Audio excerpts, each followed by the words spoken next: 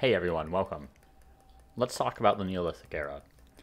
The Neolithic era is pretty simple, and there's not a lot that goes into it, but there is a lot to talk about when it comes to setting you up for the rest of the game. So I'm going to talk a little bit about optimizing your Neolithic gameplay. So one of the very first things you want to do when you enter the Neolithic is get to high ground. This is where I spawned. This is a brand new map. I have no idea what it looks like yet. We've already spawned on a little bit of high ground, so we have decent vision. This is actually a bit of a disadvantage. Um, you'll see that nothing is going to spawn in your vision on turn one. So starting on low ground and moving to high ground can be a little bit more effective. But there is some high ground over here. And you'll see if we move up here, we're going to get a little bit more vision. This is going to take three movement to get through to. We're going over two empty, or four movement to get to. We're going over two empty tiles right here and then up. Or if we go to one of to this tile right here that's not a woodland, we'll still have one movement remaining after that. And it's really important to maximize your movement. So flat ground only takes one movement to move over, whereas things like woodland takes two movement points, and we have four. So let's go here, because it will give us one movement remaining after we've moved to that location. And you can see how that makes a difference. So right here we have this food. If I had gone here, I wouldn't have been able to get it this turn. But now I can. And now I have 10 food earlier than I would have otherwise. You'll see this tile was also woodland. Uh, this functions kind of similarly to Civilization 5, where if you have one movement left, you can use that movement to get onto any tile. So this is going to apply to rivers as well. So if you want to get on a river, you should use three movement points first before you get onto the river. You want to explore as much as possible. That way you're only using up one movement point to get onto the river rather than three or four, whatever it is. And then once you're on the river, you can actually travel along the river normally once you've moved on to it from the previous turn. So let's end the turn here. And see there's another high ground position over here that we can uh, look at. We don't have enough to go after mammoths yet. So this is one movement right here, and will give us some vision in this direction. Can see there's a deer that we can't get to. Let's get a little more movement. Okay. So, we can go down, or we can go up to the sanctuary. The sanctuary is a guaranteed population point, whereas this is not. It does look like this is sort of the northern part of the map. You can see the snow right there. So if we're going for the sanctuary, we'll want to move in that direction and then sort of move perhaps down along this way. The sanctuary is a little bit inefficient in terms of movement, however. We don't know what's down this way. I'm going to go for the guaranteed population because I like to play a little bit more safely. But there is a case for going down to grab this food and continuing down in this direction because moving up this way is fairly inefficient if you look at the terrain. When you grab this sanctuary, you kind of have to come down over this way to get out, which is somewhat movement intensive thanks to this forest right here. And even when you do get out, you're going to be in lands that are not ideal to settle, whereas going after this food would spit you out in more land. However, this food is not going to guarantee you that you'll get a population up. We're going to move up to the sanctuary. So move up to the sanctuary, and if you don't know this already, you can pillage even if you have zero movement remaining. So if you're moving to a sanctuary and you can pick up something else and still end your turn on the sanctuary, you should do that. The only exception is combat. Combat will eat up all of your remaining movement points. So you'll see we have this tribe, and we've got a new uh, new person here. So when you split a tribe, the new one is um, going to you want to split the new one off because it's more efficient to explore. And when you split your new one off, you can, you know, click that one and then right click where you want it to go. They will be reset to zero food, while the original tribe will keep the 10 food. So what we want to do here is we want to get along this river and explore in this direction and open up more territory. Moving onto the river is going to use all of this unit's movement, but leave this my original unit free to explore. So we can move on to this river. Even though our movement is exhausted, we can still attack it, this deer, because it is in adjacent territory. If I had moved to this tile and attacked, I wouldn't have any movement after the conclusion of the battle. So I wanted to move on to the river first, because otherwise I'd have to waste another turn. Meanwhile, I'm going to send this tribe back in this direction. There is a curiosity right here. So if I count, I can grab that this turn with my one movement remaining. And then one, two, three, four. So I can make it down to the food still on the next turn. So you want to be very careful in counting what uh, movement is going to cost. I forgot to kill the deer on that turn, uh, which is a um, big mistake on my part because I, I'm slowing myself down. But you got the idea from when I was talking. So we're just going to instant resolve that, but you can do it yourself if you want. So you'll see that eats all the movement. Whereas if I had remembered to do that battle on the last turn, uh, instead I was too busy explaining things, I could have picked up this food on this turn. So uh, these are both viable options. Welcome, where you get this new hunting party, has a chance to give you another event, event where you lose a hunting party. So be aware when you pick that. I'm still going to pick it. um, not the ideal place to spawn, so we will split these guys up. I'm going to send this one after the Curiosity, because I want this tribe to continue to grow, whereas this one has zero growth so far. So I got five food there. And luckily there's a deer right here, and although we have zero movement, we can attack this turn. I'm going to do a manual battle to try to uh, minimize the amount of damage I take, because who knows if I get into another engagement. And if you don't know already, uh, you get advantage from high ground, you get plus 4 to your combat strength, but enemy uh, units, these animals, do not get high ground advantages. So you can actually attack on onto uphill terrain when you're fighting animals uh, without too much fear.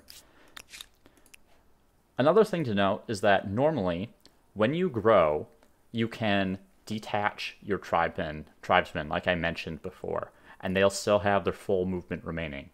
When it is a battle, you cannot do that. So if you have the option between a growing from a deer or growing from a food deposit, the food deposit is ideal because then you get a full turn of movement with another unit that you didn't have before, whereas killing a deer requires you to wait a turn.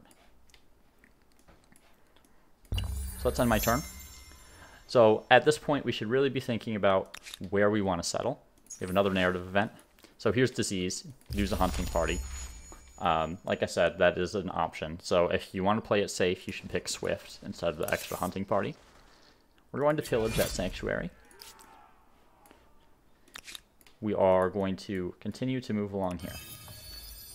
And that gives us another tribe. So what we're going to do is split... We could go after the mammoth, but I'm going to have difficulty getting high ground advantage from my current location. I'm not a big fan of going after mammoths. They don't give you, like, more hunter stars than hunting anything else. So I'm going to split one of these units off split the original unit. It's going to continue down the river. And see there are some uh, either friendly or not so friendly faces right here. Meanwhile, this unit is going to come off the river. We'll go up to this position right here so we can get a little bit more exploration done and see if there's anything else worth going after. And then we'll attack the deer. deer. And I'll just instant resolve that. So thinking about where we want to put our outposts, there are some okay locations here um, in terms of just like putting down a straight up outpost, right? Uh, you could go all the way up to this snowy tile, and those outputs aren't great, but keep in, or aren't bad, but the tiles around it are not going to be as good as tiles in most other locations. Well, in the turn here.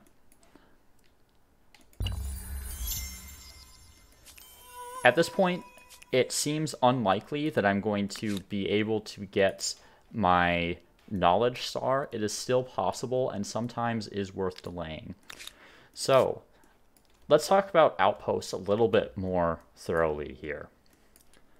So one option, for instance, would be to go over here on this river. You would have an okay number of yields. Um, let's uh, move over and explore a little bit more. Have some mountains here. So if you were to go right here, for instance, right in this area, you would have an okay number of amount of production from the surrounding tiles. You have plenty of space for maker's quarters, but you're hardly going to be getting any food. This doesn't necessarily mean that you should pick the Harappans. You don't want to boost up that food if you don't have places that benefit from the plus one food on yields that the Harappans get, and you don't have anywhere to put agriculture quarters because you'll be losing the yields here. So a good one for this location would actually be the Egyptians, for instance. When you're picking a culture, you want to think about where am I going to put the emblematic quarter and how efficiently can I make use of that emblematic quarter. And for instance, the Egyptians are a culture that has this Egyptian pyramid, and it gets extra industry when it's surrounded by maker's quarters.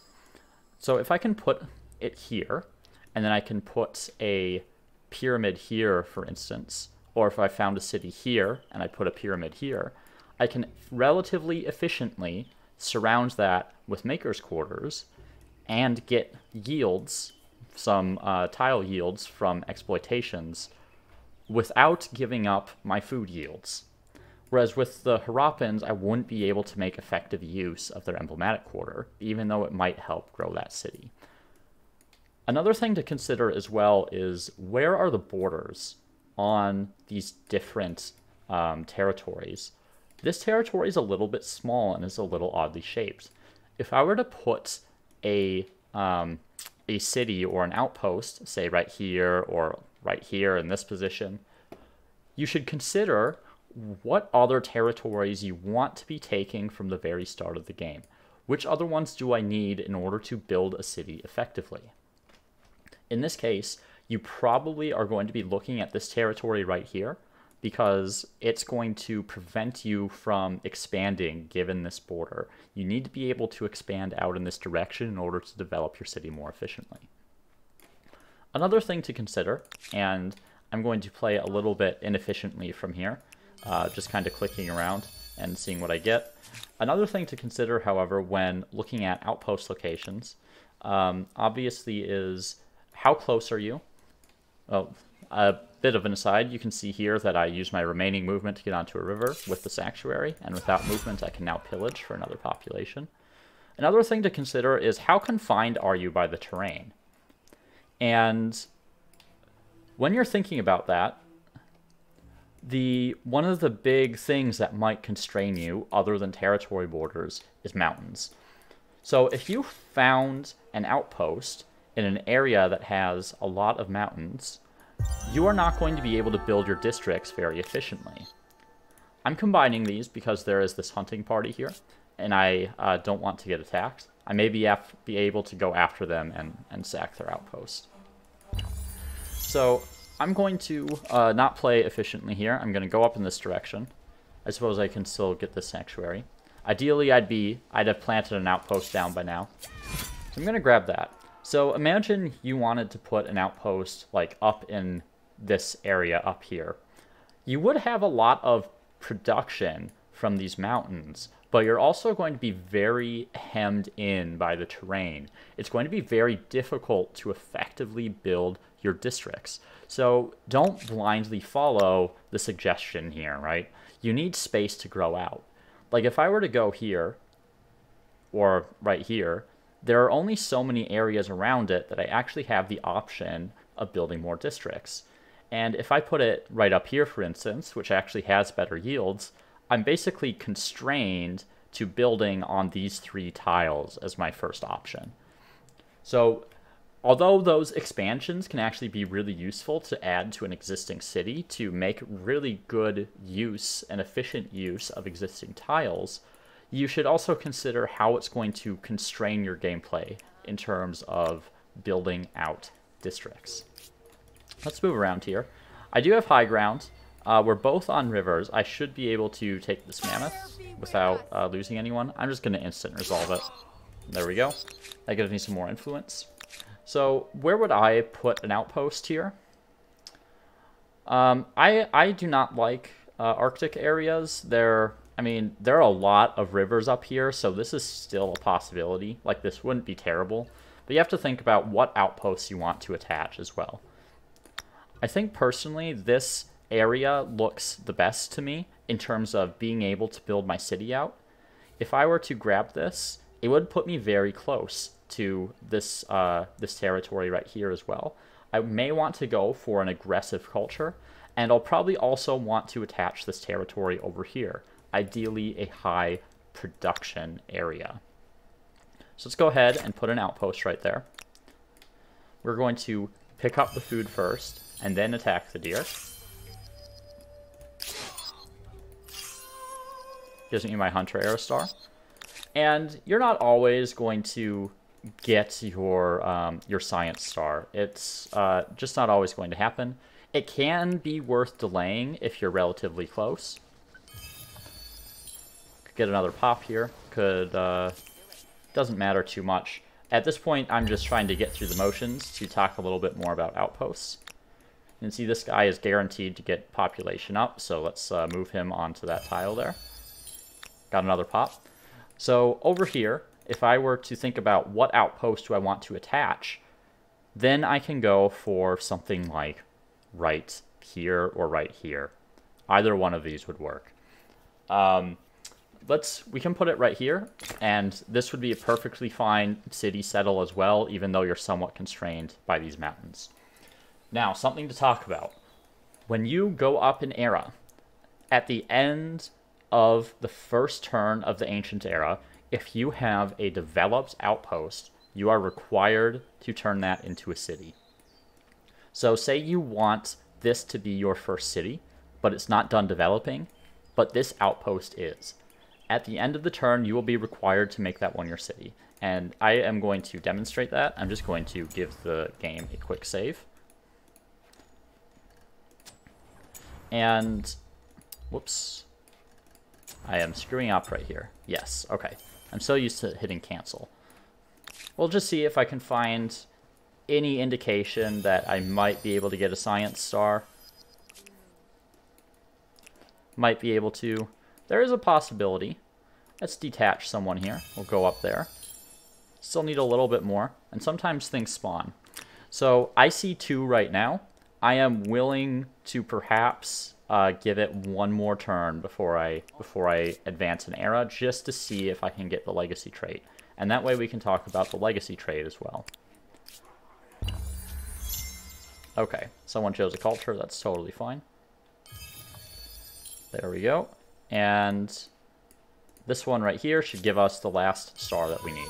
So there's our knowledge star, and now we'll get the option to select a legacy trait.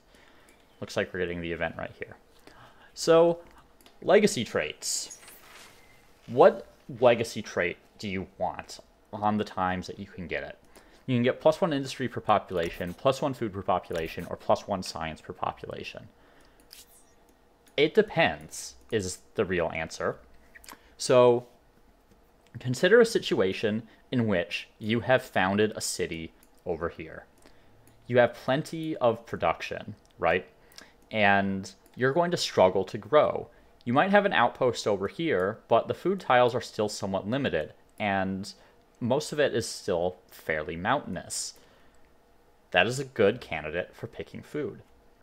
Alternatively, if you are in an area where there are a lot of plains, say you, you know, say this were more flat and a lot of uh, food production, you may want to consider going for the plus one production per population.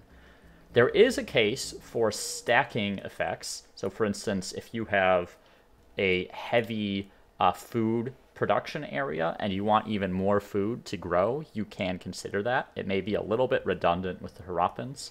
Science is okay. I find it a little less valuable than the other two personally, but it's a decent option if you have a good balance of yields like we do on our first two outposts here really the the choice is yours, and you should also consider which of the different um, cultures that you want to take when you go for an era up.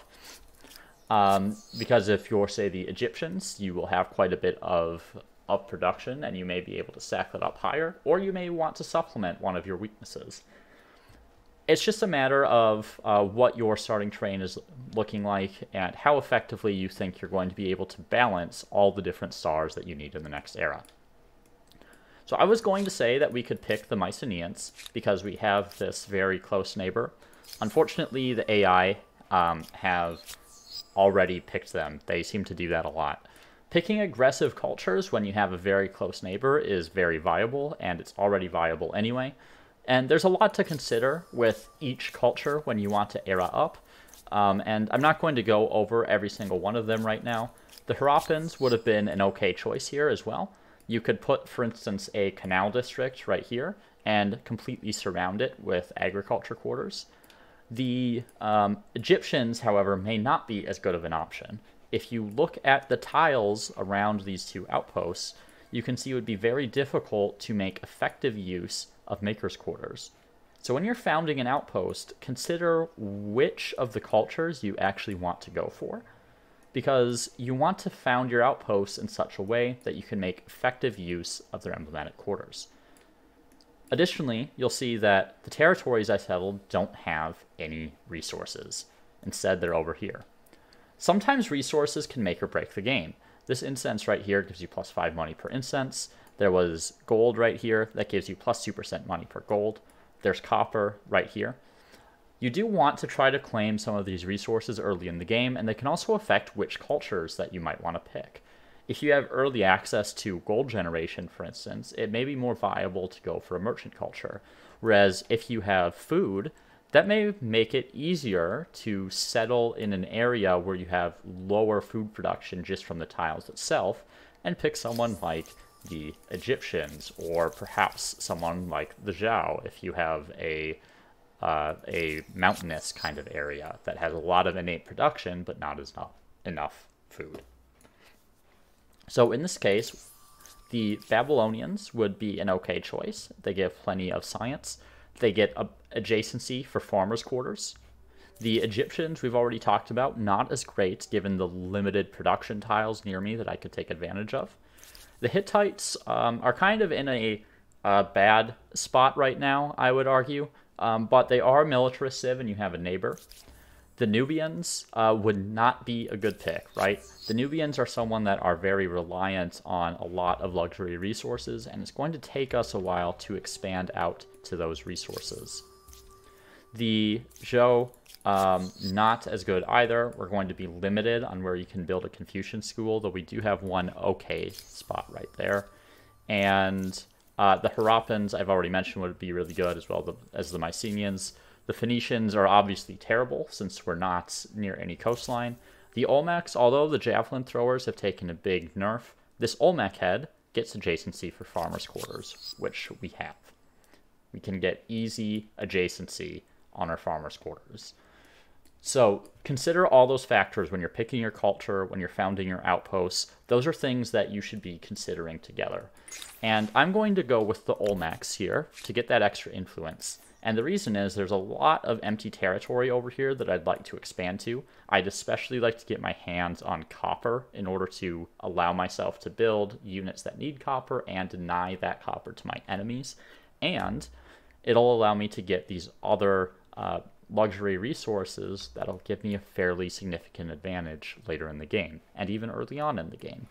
So that influence generation is going to be very important. So I'll pick the Olmecs.